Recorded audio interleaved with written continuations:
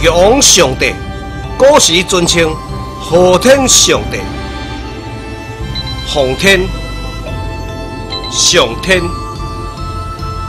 天、天地、昊天上帝，亦简称玉皇，或者玉帝，道教专称是。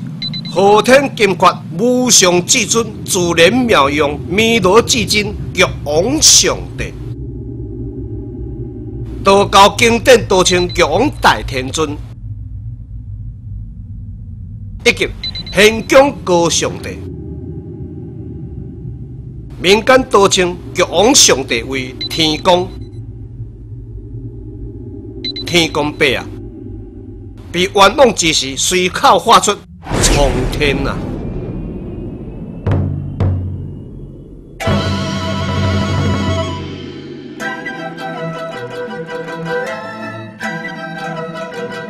人类最初的宗教信仰就是原始宗教，是对日、月、星神、风、雾。雷、电以及山川、河流的自然崇拜，自然崇拜广泛存在于原始社会中。人类将各种自然物、甲自然力，改想做是各种的自然神。随着社会发展，人类的认识也复杂起来。亲像复杂的气象过程，乌云满天，然后就是雷电，同时啊透大风，接落来就是落大雨，最后雾过天晴，红日露出，一道彩虹挂在天际。这个过程非常有规律，每一年拢是同款。云、电、雷。风、雾，这五种自然的现象，人类当作是神来崇拜。云尊称云中君，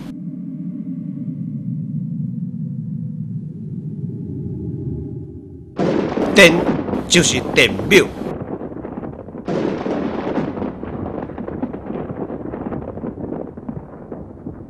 雷就是雷公，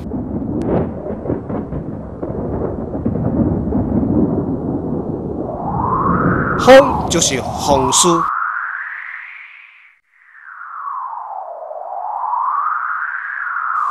雾就是乌贝。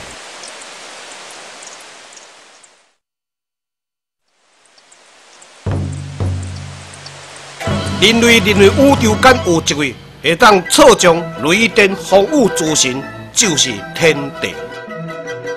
殷商时期，人民称最高神为帝，或者上帝。古时人间最高的统治者称作王。皇帝的称谓是真调以后的代志。上帝是一位支配天上其他诸神的大神。上帝有真大权威，是管理天地间一切事物的主宰。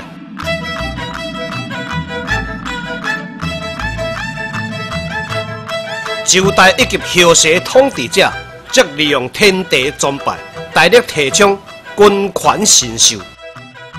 周代统治者宣称，周王是受天地委派，代表上帝来教化百姓。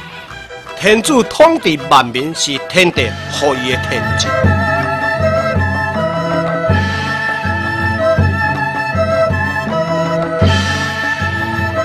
王宣称自己是天地子儿，故自称天子，会亲像老爸爱囝同款保护天子。天子又是人间甲天地联络的合法代表，所以只有天子才当交礼祭天。后来兴起的儒家也主张顺应天意甲天命。儒家为了恢复周礼，甲实行人君的贤人政治，而鼓吹天命。论语尧曰：“不知命，无以为君主也。”要民众对着知天命人人君主行。论语言恩遂道，生死有命，富贵在天。一八字已经流传了两千五百年，至今也有广泛的影响。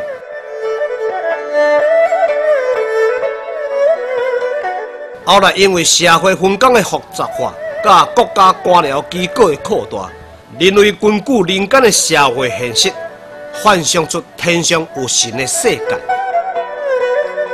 在上帝崇拜中，逐渐演变成一个以天地为中心的庞大神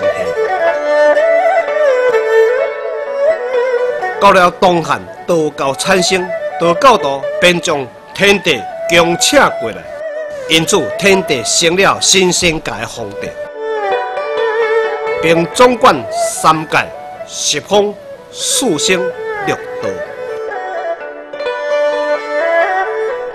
道教尊称玉皇、玉帝、玉皇大帝，后天金国玉皇大帝等。玉皇大帝成为民间崇拜最高之神。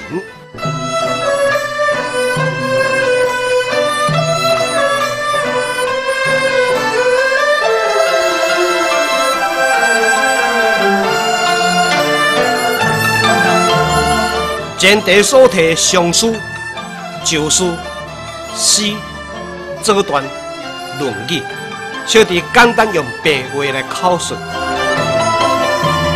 上古之时，没有玉帝信仰，只有日、月、星神、风、雾、雷、电，以及山川、河流的自然崇拜。到了上朝。则认为宇宙有一位最有权威的神，操纵一切。这位就是天地。天地统治宇宙一切的神，而且人类的祸福、吉祥、生死，在伊掌握之中。到了东汉时期，道教就将玉皇上帝纳入教团中。